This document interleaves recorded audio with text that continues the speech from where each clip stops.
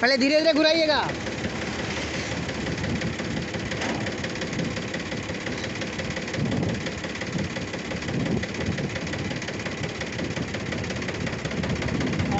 एकदम धीरे धीरे चलिए पहले।